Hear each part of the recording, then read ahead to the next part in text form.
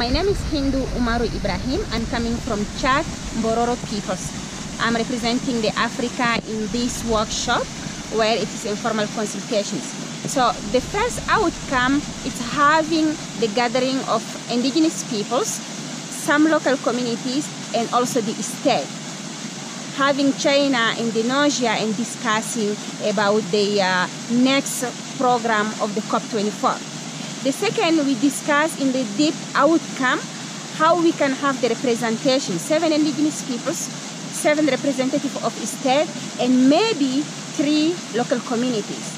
And then the last one, it's how we can have the functionality.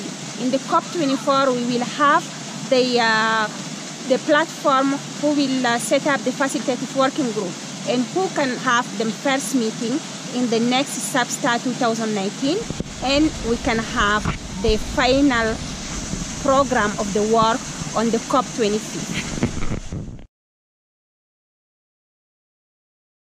Uh, Minnie Degawan, Kankanaay from the Cordillera, Philippines.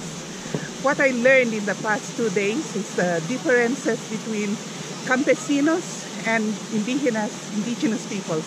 So this is very important in understanding the context of Bolivia. And I think it's very important that we have more dialogues to understand the context of each and every country. Second is the relationship building between indigenous peoples and other indigenous peoples, indigenous peoples and uh, government representatives. I think at the end of the day, the platform will only be successful if the relationships are good. So